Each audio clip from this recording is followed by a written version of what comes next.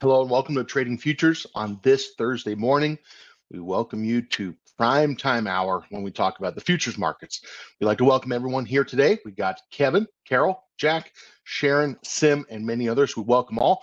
We also have Barbara Armstrong with us here today. Pleasure. Welcome. And uh, just let's go ahead and uh, hop right in and get started. Now, remember that trading futures, if you go to schwab.com, there is a course for trading futures. We could show you that as well. If you have not gone through the course, that would be a good idea to do that.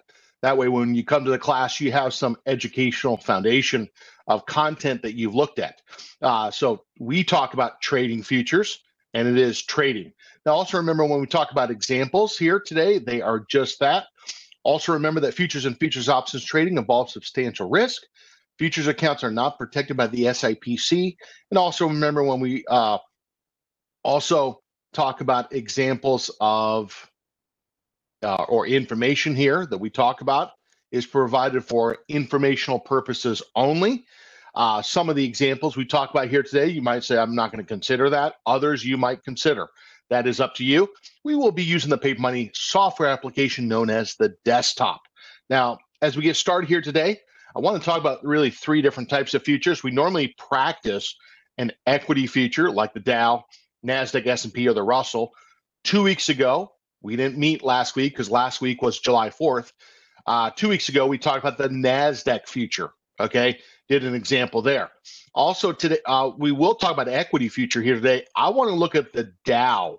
Okay, today as one of our equity index future examples. Second, we're going to talk about we had a cooler inflation number. Well, I'm not. I mean, how much cooler are we talking about? A tenth of a percent. Okay. I want to talk about the effect it actually had on the US dollar and some of the currencies.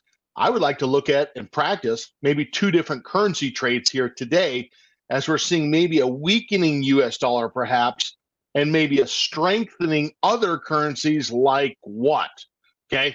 Now, we also have a Canadian with us here today, Barbara Armstrong. We might look at the Canadian dollar. Let's see if it's worth anything here this morning.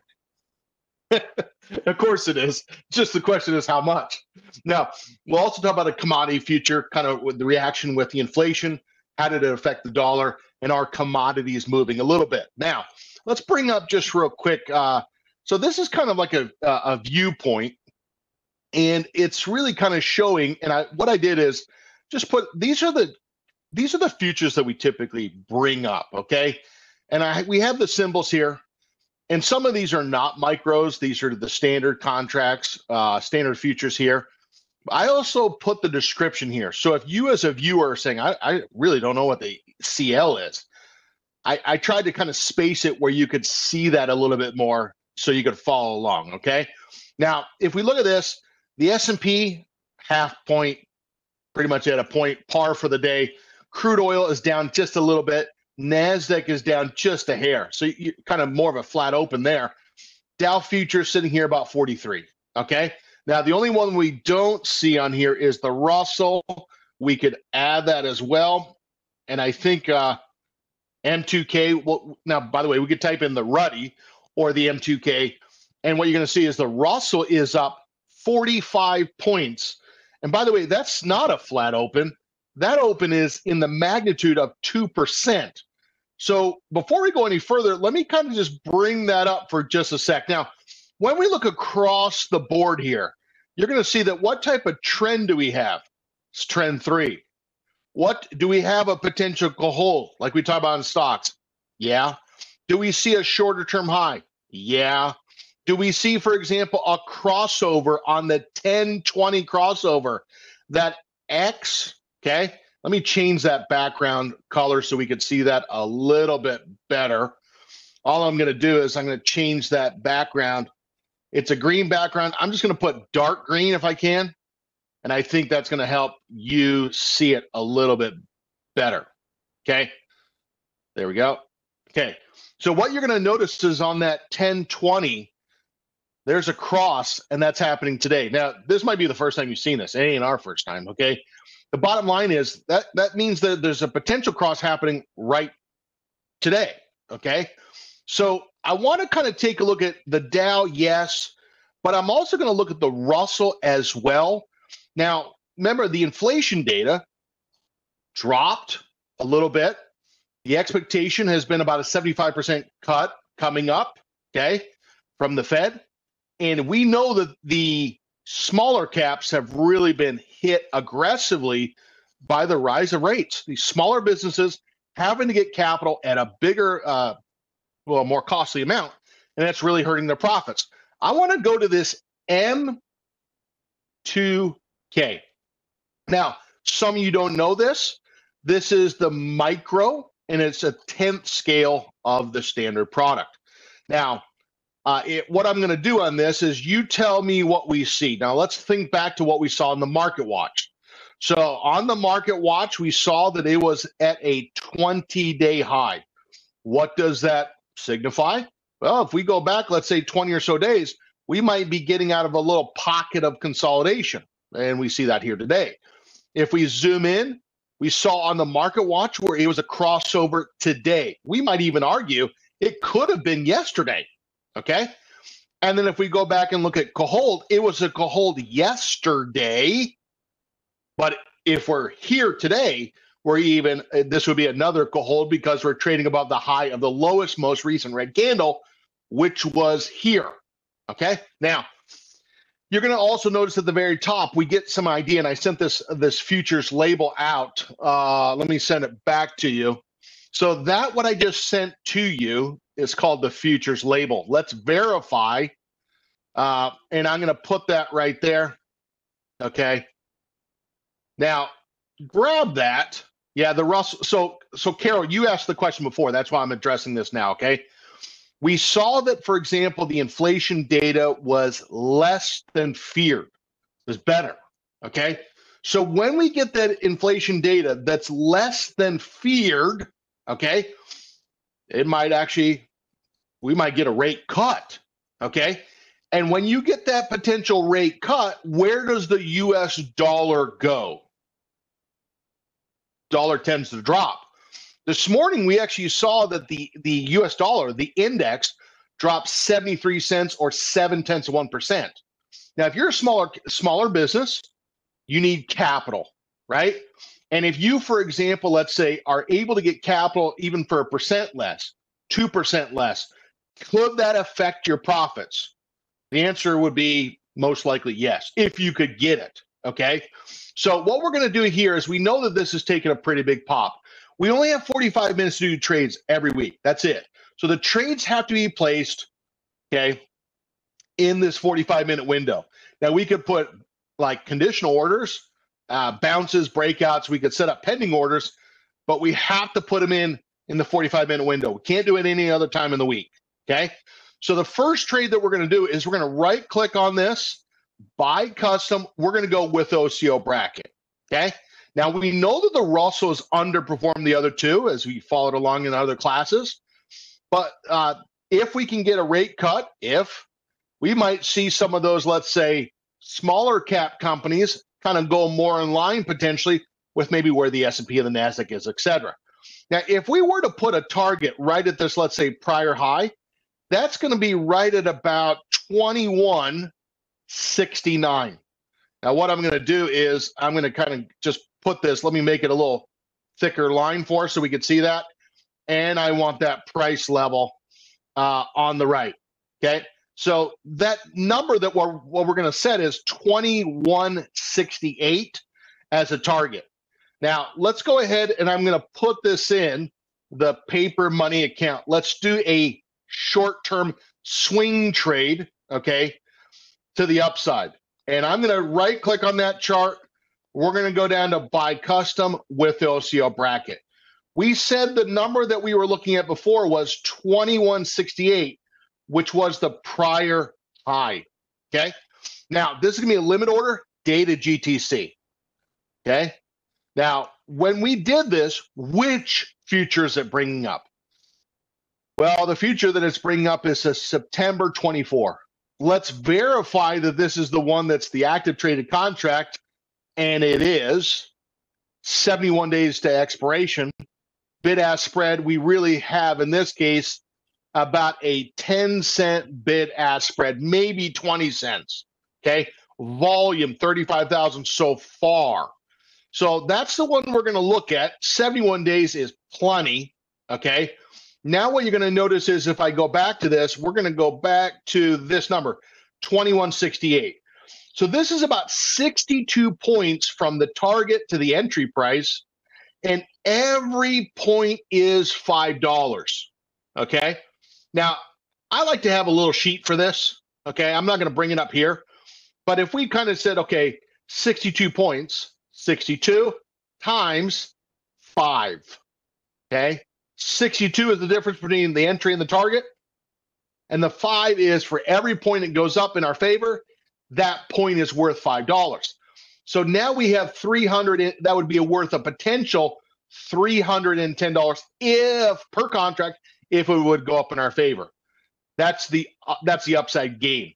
If we talked about the downside, where is that stop? Well, let's go back and look at that. Where might we set that? On a large candle like this, maybe let's kind of use the intraday low and set a stop right below the intraday low. I mean, if we go below today's intraday low on this large candle, that's not a good sign. That's a bad sign. We're going to set that stop like 15 points below the intraday low. So if we put 15 points down, it would be 2047. Okay. Now you might be thinking, James, why didn't you put that trade on earlier? Well, because we got to do all the trades in class. Okay. Now, uh, 2106, 2168. And if we look at the downside, you're going to see that we could say, how many points is it down? You figure it out. It's about 53, about 59 points. Times that by five, and that's the potential loss. Okay. Now, what we're going to do is we're going to do only one contract in the margin account. Okay. So confirm and send. Note the commission here. Okay. The commission on a one contract basis is 225. We're going long. So when we say long, that means that we're a buyer. Okay. And we're trying to buy at 2106.40. As we talked, prices moved up a little bit. We might not get filled right away. We won't okay, unless it really, really the price comes down. We'll give this about two minutes to see if that or see if the price can come down just a little smidge. Now we're right now at it. Okay, we're about two points above where that buy limit is. The buy limit is saying at that price or less. Come on, come on down. This is usually when we say come on down. So let's kind of give it a, a point, uh, give it a minute or two to see if it can drop. Okay. Now, I want to kind of go back to something just real quick, which is let's say the effect of the the cooler inflation had on the US dollar. Now, which when we kind of talk about this, okay? What other index could benefit from the fall in the US dollar? What other index? I mean, we could even maybe say all of them. But is there one index where there may be, let's say, not just domestic companies, but international companies? If they can, for example, have a US dollar that could be lower, could that benefit the sales of those multinational companies? Meaning they don't just sell here domestically, they sell abroad. Well, this morning we actually saw that the US dollar actually fell down to that kind of the bottom of the range. Didn't break it, but it fell down near there. One of the other trades that we're going to do here today is we're going to take a look at the the the, the Dow. Okay. And I want to take a look at the Dow. Now, if we brought up the forward slash MYM, that's the micro for the Dow. Now, some of you, if I were to ask you a question like, hey, if you wanted to uh, buy a product that tracks the Dow index, how much is it per share? Well, if you got uh, $397 a share or $400 a share, you could go out and buy it if you would consider that. Many people say, man, I, I don't have $400 a share. Well, one of the reasons why some people consider futures is if they want to get exposure to an index, it could be a lot less than $400 a share. Okay. Now we're choosing the micro. Okay. And now what you're going to notice is the tick size. We know that the Dow moves in one point increments. For every one point it moves, it's 50 cents. And if we were to, let's say, fall down, let's say, 100 points, well, it would be down $50. If we fell down 100, if we did the math. If it went up 100 points, it would be worth $50. Okay, so now what I want to do is I want to kind of talk about tell me what you see on this price graph. Do you see anything that might be setting up a continuation pattern? Barb, you're not allowed to answer. So if we take a look at this, okay, we kind of see that we went down, came back up. There's a U pattern. We dropped down, came back up, dropped down, came back up. That low right there, okay, that low right there, slightly higher than here. I think the evidence on the chart that we might just be not really paying attention to is how come the recent price data has not come back down to the prior lows? How come these intraday wicks are all in the same area of 39.50? Are there some investors who are thinking, hey, if we go down to 39.50, buy? Goes down to 39.50, buy. Go down to 39.50, buy.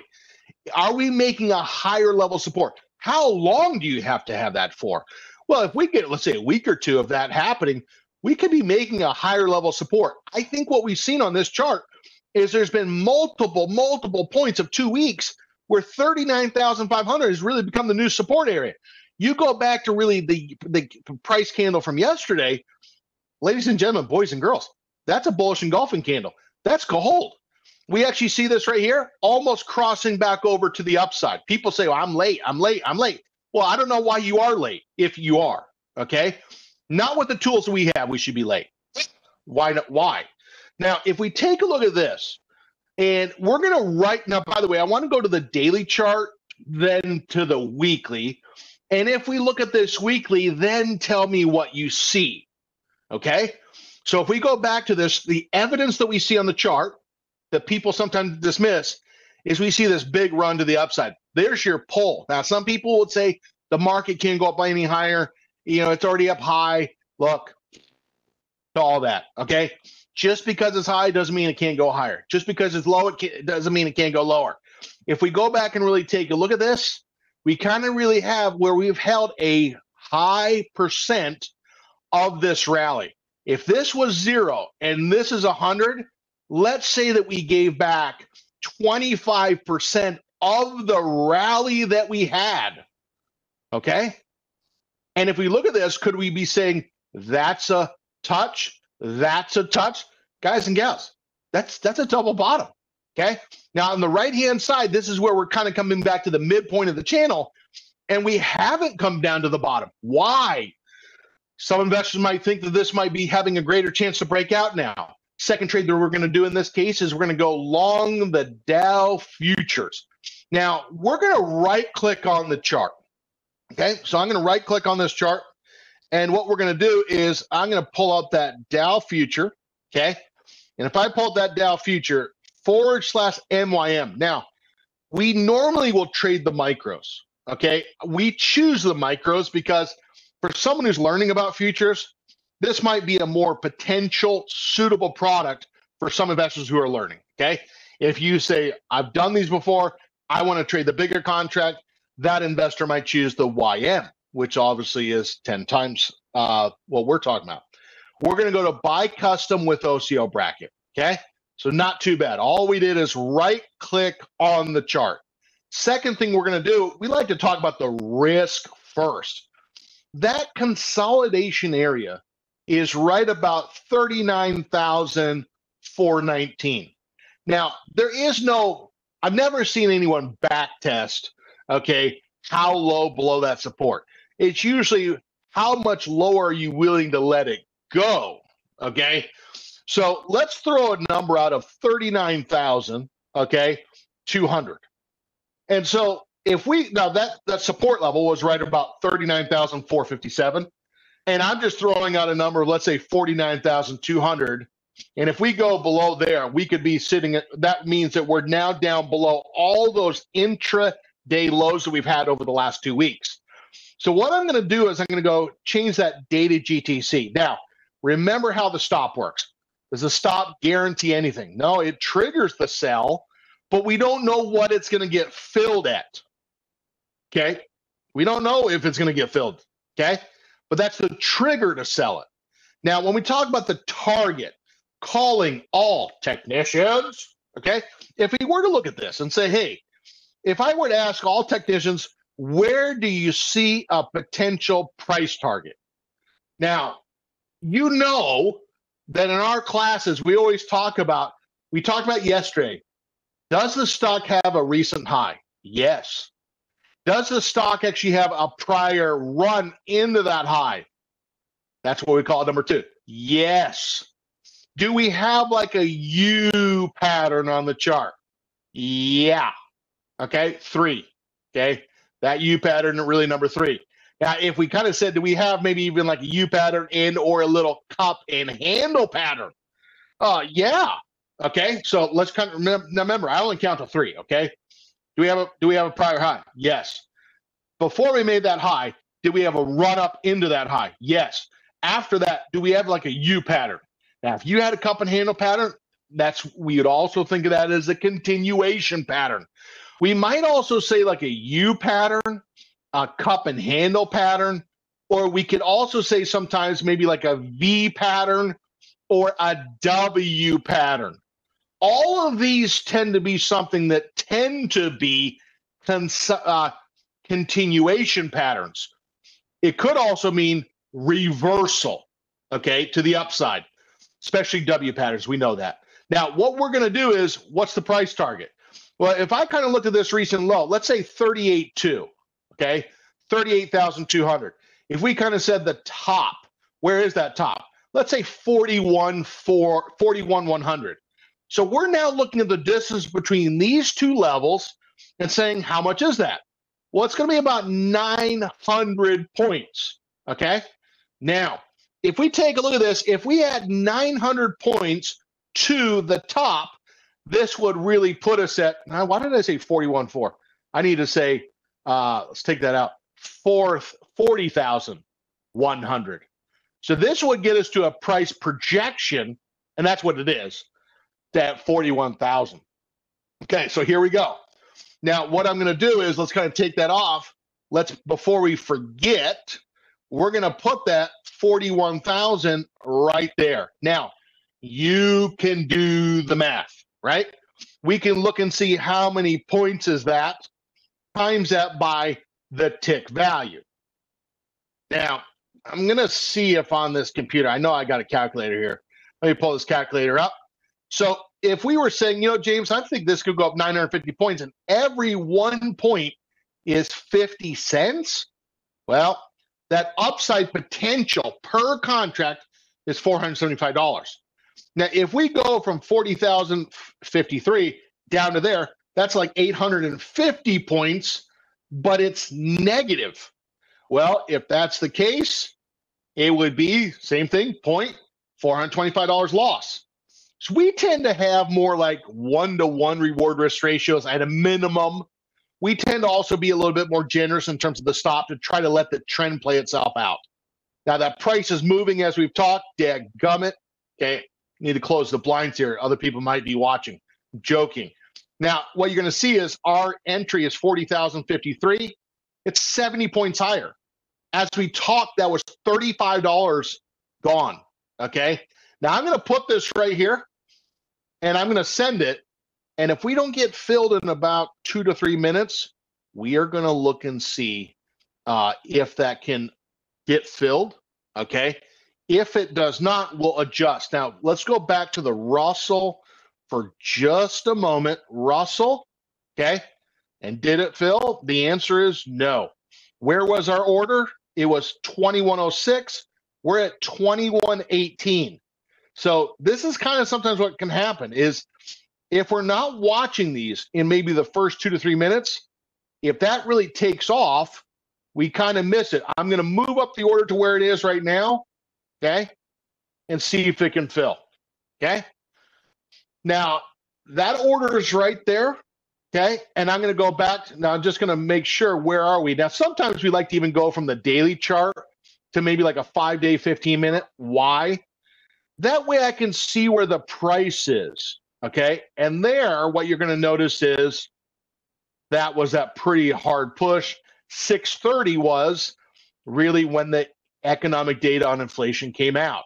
So the biggest thing what you have to really remember here is look, a lot of people say I don't look at uh, economic data. They might not be that experienced in investing. Economic data affects not only equity indexes, it affects individual company sales projections, which then affect fundamentals, which then affects potentially technicals. The it does matter. Someone might not understand it, but it does matter. Now, what I'm going to do is I'm going to go back to, for example, that Dow, just real quick. Where are we on the Dow? Uh, if we go back to the Dow, we're pretty dead gum close 40 53. We're about 25 points off now. Now, just for the sake of time, because I want to kind of change the topic, I want to move to this right here.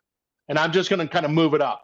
Now, the nice thing about this platform is with these futures, we can just kind of adjust the prices right on the price graph. Okay. And we can see where the stop is. We can see where the target is right on the price graph. Doesn't get much more easier than this. Okay. Now, if we take a look at this, okay, so the trade number one that we did here today was what? Number one is we went long the Russell. What was the thesis of really going long the Russell? Cooler inflation, which could then affect actually the increasing chances the Fed could cut interest rates. Which companies could potentially benefit from that cut in interest rates? We might submit smaller cap companies. When we say smaller cap companies, we're talking about smaller businesses that have been maybe choked, okay, financially choked by the rise in rates that have been very aggressive. And sometimes when you have that, you can get into like a credit crunch where maybe banks might be more uh, scrupulous as far as which companies or are they willing to lend. So well, that's why we're kind of favoring the Russell. When we saw the US dollar drop here today, the other thing is if that dollar drops and was able to break support, could you get these multinational companies to uh, have higher potential sales? Now, you might think, well, that's just insane, but I want to kind of remind you something that we've seen lately. Okay.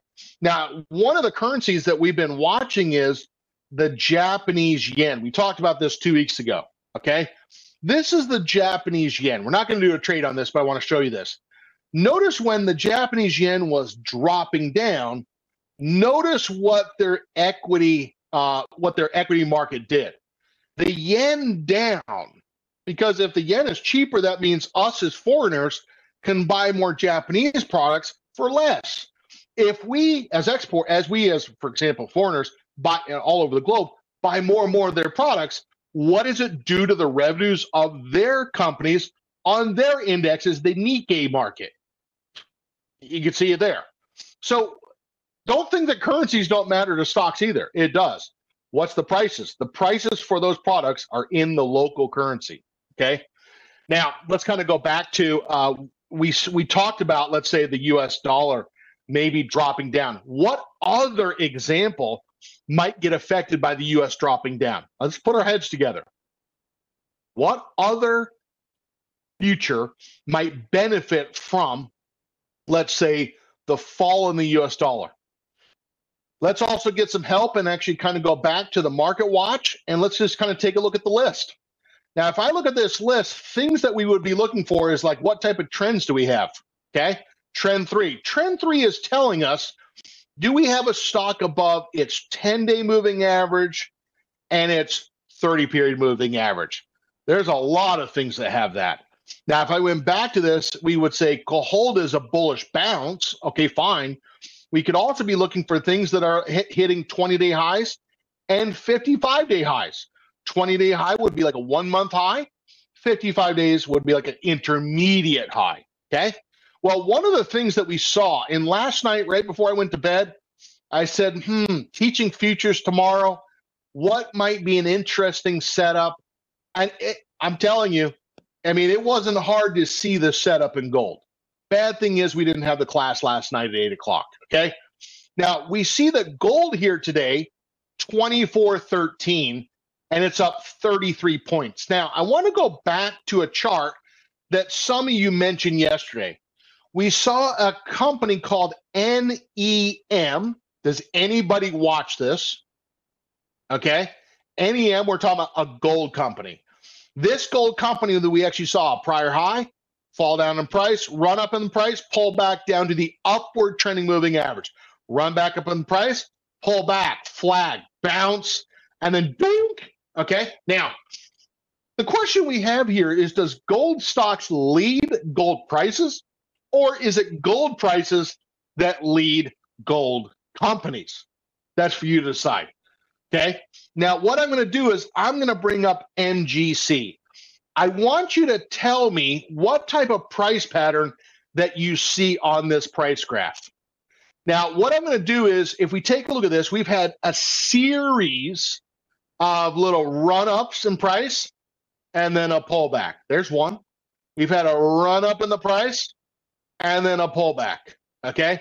We've had a run up in the price and then over time, we've had pullback, pullback, pullback. Most of these touches have been right around 2,300. Now, do, are we thinking that maybe we're starting to get to the point where it could be starting to really break out here? Well, if we draw a line down, okay, touch there, high, lower high, lower high. This, for some technicians, they might say, James, this kind of appears to be a diagonal resistance breakout. Now, wait, this is blowing my mind. You're literally showing exactly what we do with stock investing.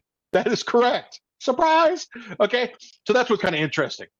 We could take what we do with stocks and derivatives and apply it to futures, uh, whether it's equity futures, commodity futures, interest rate futures, or even currency futures. And we're doing the same thing. Okay. That's what's kind of interesting. So if we take a look at this, there's your diagonal breakout. And if we look at this, the crossover was about four days ago. And if we take a look at, let's say, where that little green dot is, which happened today, doink, okay, and you're going to see that it's there's your local hold. Now, I want to go back to kind of where this was, let's say, last night. The reason why I kind of said last night, it was just kind of sitting right closer, okay, to that moving average. Now, some people like that. They like to see it close. Now, overnight, some foreigners, etc., they bought on that dip. Those people in Asia, those people in Europe, they bought that ahead of the New York session. Well, thanks a lot. Us domestically, we got to sleep. Okay, at least some people do. Now, what you're going to notice is we're going to right click on the chart, buy custom, and we're going to go with OCO bracket. Now, what I'm going to do is I'm going to take this prior high. Okay, remember one, two, three, prior high. Did we have a run up into that high? Two, do we have a U pattern, V pattern, cup, uh, cup and handle pattern, W pattern, V pattern. Do you have any of that? And the the uh, fact of the matter is, we kind of have more like a prolonged V uh, U pattern, where we've based over time right around 2300. This marker, okay, 2507. Okay, now if you take a look at this, that 2507, we marked that from the prior high down to consolidation. And notice what you're going to take a look at is that's going to be the target that we set. Now, we know that the, the fluctuation of movement is in a dime increment, okay, 10 cents. How many 10 cents are in, in a point? Well, we know there's 10 of them, okay? So if we move 10 cents, that 10 cents is worth $1. If we moved one full point, as you could do the math, it's worth 10 bucks. So, man, if we were like last night when we were just sitting there uh, watching kind of right on Thinkorswim Mobile, some of the setups that we were seeing, that could have been 300 bucks. Okay. Now, some people say, um, they're really too busy. You shouldn't always look at markets. You know, you can do whatever you want. Free country. Okay. So, what we're going to do is we're going to go back to this. We're going to right click on the chart.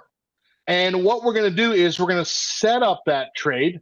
Okay and we're going to put the target at the 161 fib and the stop underneath today's low, which is right at the moving averages. Okay, right click, buy custom with OCO bracket. Now, let me redraw this for just a minute where that was. And I'll just kind of, if you're saying, how did you draw that? We went to the prior high, that area of resistance. Okay.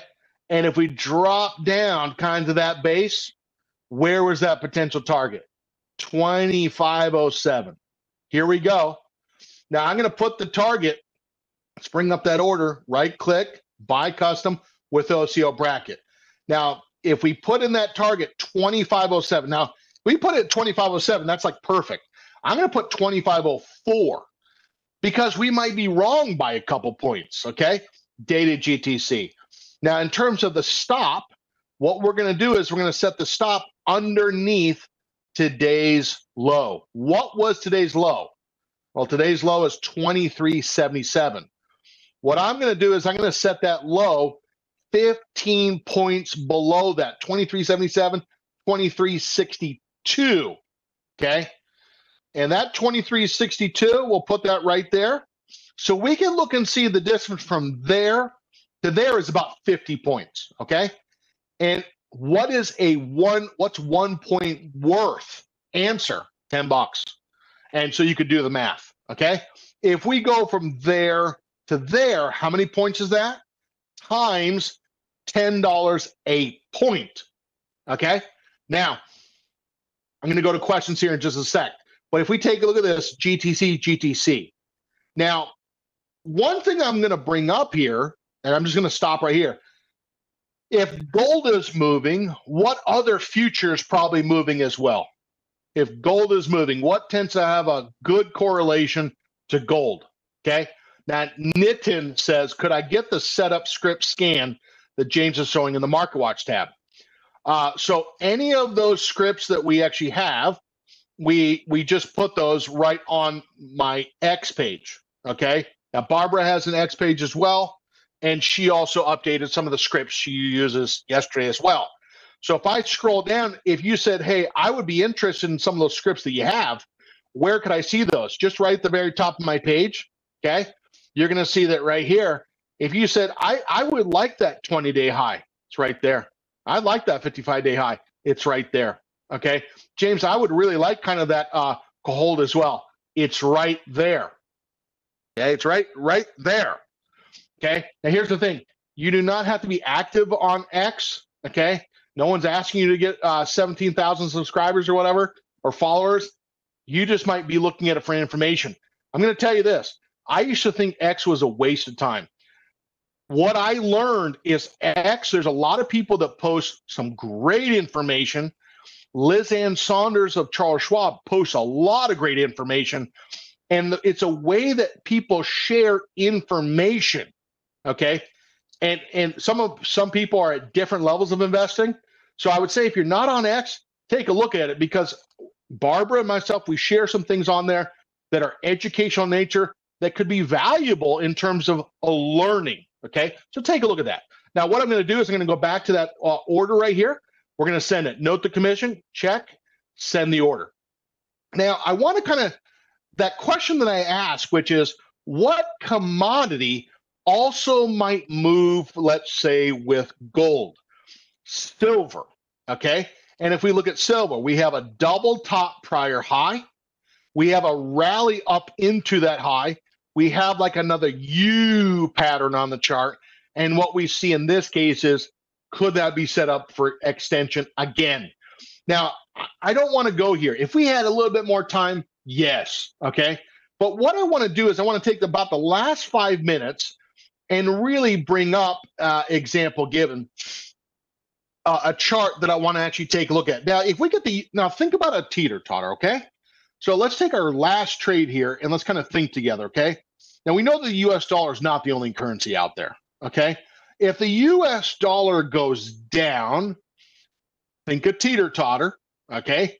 If one side of the teeter totter goes down, another currency or currencies could go up. Okay. Now, what other currencies are some major currencies? Well, when I say major, I'm not talking about the Iraqi dinar here. Okay it, we would be saying the euro, the Canadian dollar, the Australian dollar, and so on, Swiss franc, British pound. That's what I mean by major currencies. Well, one of the biggest moves in currencies we saw here tonight was really the British pound. Okay. So if the US dollar drops, which currency could offset that? Well, if we look by percentage wise, you see that we had a pretty good jump in the British pound. We had a decent jump in the Australian dollar we had a pretty strong bounce in the Swiss franc and decent on the euro. Now, if I said of these four, and, and no pun intended for the Canadian dollar, Barb, but it didn't move as much as the other four I'm talking about, at least right now. Now, if we said, are any of these showing maybe a little breakout? The British, uh, the the British pound, that's showing a 20 day high and a 55 day high. The Australian dollar, that is actually showing the 20 day breakout and 55. Both of those have could hold. I want to turn our attention here to just real quick. Um, Barb, she's Barb just called me a buttercup, and everyone saw that. I'm so glad that that showed right there. Now I can have proof. She called me a buttercup. Now, uh, busted Barb. Now, so here it is. So when we look at, let's say, the British pound, what I want you to notice here is this might be c- confusing when you look at this. So we know that when we look at, let's say, currencies, we're talking about in pennies, etc. This moves in fraction of pennies called a pip.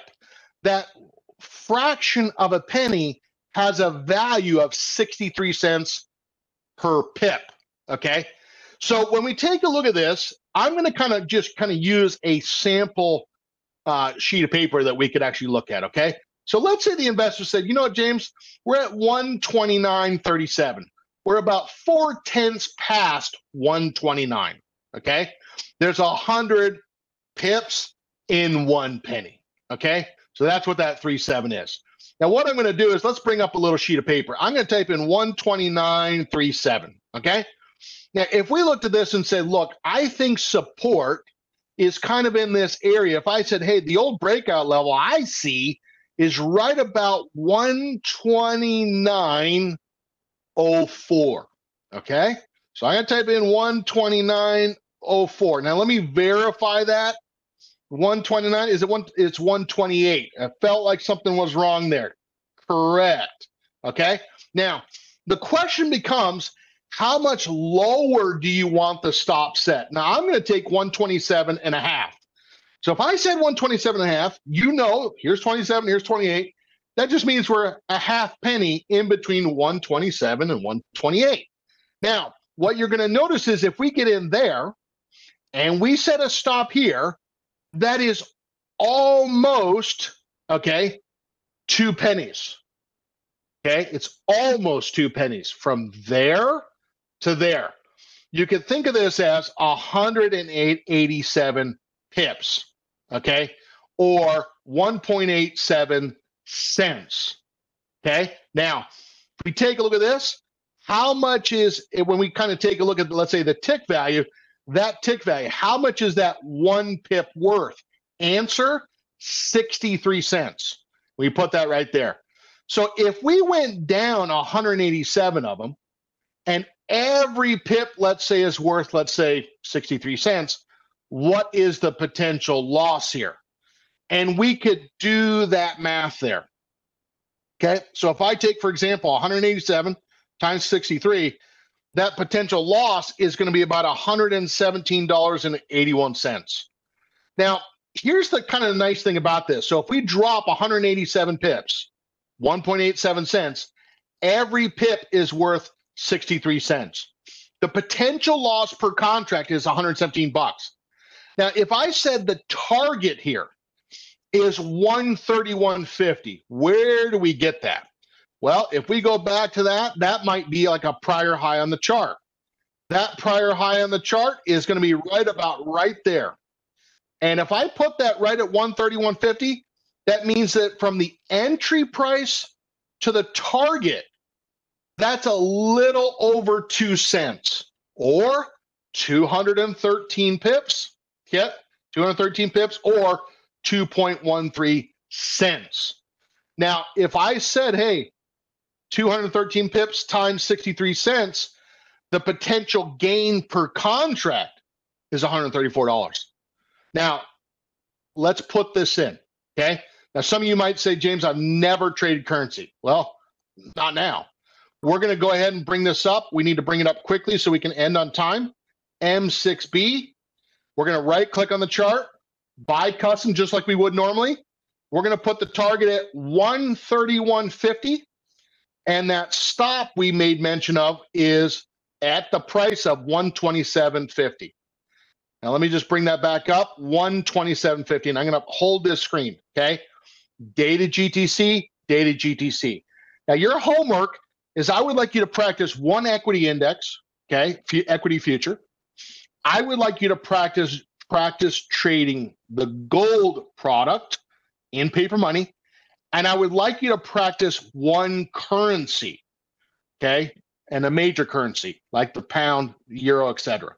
Okay, so this will be our final trade here, looking for the British pound to appreciate. Now, if the British pound goes up, that means the US dollar could go lower. Okay, so I gave you a homework assignment with three practice examples in paper money.